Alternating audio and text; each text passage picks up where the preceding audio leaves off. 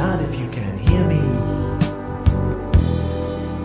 Is there anyone home?